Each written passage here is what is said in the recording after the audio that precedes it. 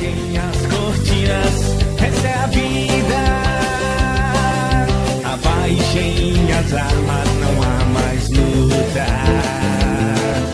Exaltem seus espíritos, não há mais corpos. E tirem do peito o punhal.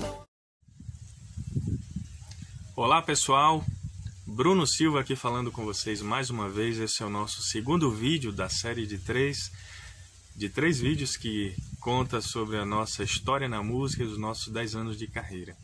Então esse vídeo especificamente ele fala sobre a banda Semiáridos, que foi de fato o marco inicial da minha carreira enquanto músico profissional. A verdade é que já tinha algum tempo que eu tinha saído da banda Gave, também daqui de Coité, Passei um tempo fora da música, mas tive a ideia de, junto com alguns amigos, promovermos o, o Vobzu Festival Cultural, que teve esse nome, isso em 2011, né? o ano que marca a nossa, o início da nossa carreira musical enquanto músico profissional. É, Esse nome ele trazia a referência do Vobzu Café Literário, que era um espaço cultural que a gente também administrava na época. E tivemos o trabalho de, de convidar uma série de bandas da região, uma banda de, de nome né, é, nacional, que era o Camisa de Vênus, já estava certa também para tocar. E de repente eu imaginei que eu sempre quis estar inserido nessa cena rock do nosso estado.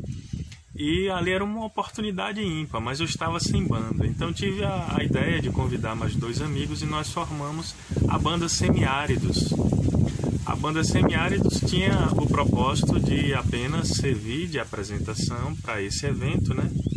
Sem um propósito de futuro. Mas graças a Deus deu tudo certo. O, o festival aconteceu em setembro, né? E nós começamos a ensaiar em julho. Então, o início do mês de julho marca de fato, né, precisamente a minha história na carreira musical enquanto músico profissional. E nós ensaiamos, deu tudo certo. Esse nome Semiáridos, ele vem de uma é, de uma referência muito forte com o regionalismo da nossa da nossa área que a gente sempre costumou desde a, as primeiras apresentações lá em Tanquinho, né, há muito tempo antes disso, que a gente já procurava misturar o baião, o shot, a elementos do rock and roll. É, quando nós nos apresentamos é, lá no Trido Cultural em Tanquinho, que foi realmente quando o primeiro espaço, né, que oferecia oportunidade para a gente se apresentar, isso também ficou na história. A gente já trazia essa mescla de ritmos. E foi assim também com a banda Gave aqui em Coité, e a banda Semiáridos ela, ela trouxe essa herança, né? E a gente já iniciou a Semiáridos assim com essa mistura de ritmos nordestinos com rock and roll. Tocamos, foi muito bem aceita, né? Graças a Deus. Nós começamos a levar a banda mais a sério, tiveram algumas alterações de integrantes, né? Então, durante muito tempo, a partir de 2011 até o final de 2014, a Semiáridos esteve sempre se apresentando, não apenas em Coité, mas em, em várias outras cidades da Bahia, cidades com, até com uma certa tradição maior no rock and roll, como Salvador, Feira de Santana, é, Camaçari, Cruz das Almas, uma série de outras cidades também, Serrinha, uma série de outras cidades aqui na nossa região. E foi um, uma época muito bacana, uma época em que a gente passou a divulgar muito o nosso estilo, o nosso nome, é, a nossa proposta de som, o, o alcance que a gente teve foi muito grande nesse sentido. E uma época também que a gente começou a se inserir nesse cenário digital, que a gente sabe que o músico independente hoje em dia ele precisa estar inserido. Então a gente começou a entender melhor sobre essa questão desse cenário digital, o quanto é importante explorar a, a, a, música nas redes sociais, né?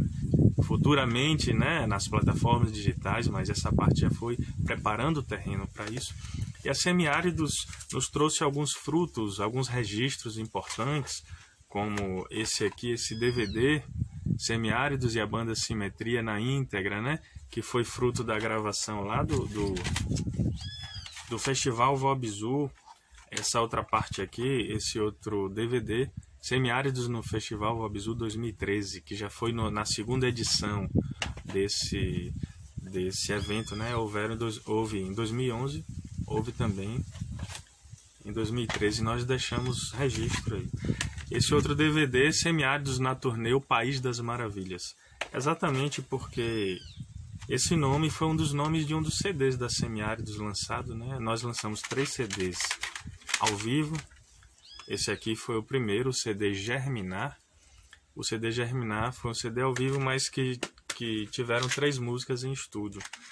Depois a gente veio com esse outro CD, O País das Maravilhas, que é referência a uma da, das músicas que era muito pedida das Semiáridos. A Semiáridos fazia cover né, de rock nacional, rock internacional, mas também tinha muita música própria. E esse aqui foi o último CD já no final da carreira, já no final de 2014, né? O CD ao vivo Versos e Versões, onde a gente traz apenas duas músicas inéditas, algumas músicas próprias, né, em, em outra versão, mas uma série de de novas roupagens, né, novas versões de músicas covers que a gente costumava tocar, né, de outros artistas que muito nos influenciaram. Então, em 2014 a banda Semiáridos no final, ela deu um tempo e em 2015 eu comecei a minha carreira solo, que é o objetivo do nosso terceiro e último vídeo, que a gente vai ver em seguida.